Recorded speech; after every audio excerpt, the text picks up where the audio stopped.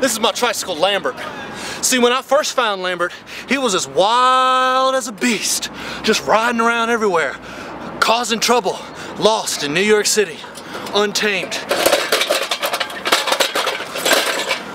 But I found Lambert, and I gave it gentle love, I gave him gentle caress, and now he's my trusty steed, takes me everywhere I need to go.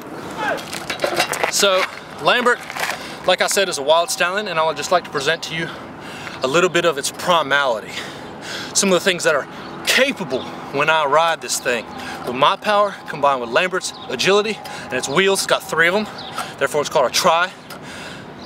So this first technique is what I like to call the surfer man.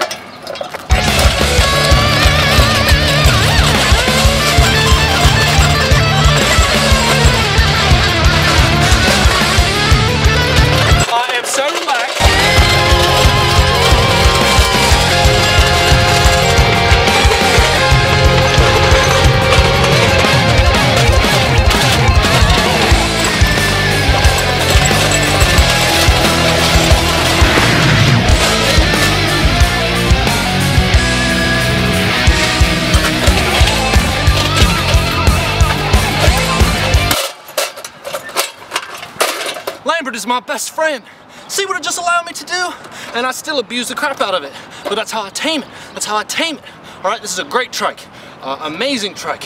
I highly recommend riding tricycles, befriending one. They're very good companions. They have serpent spirits, which means they can guide you in and out of small nooks and crannies, places in your life where you seem stuck. Get a trike.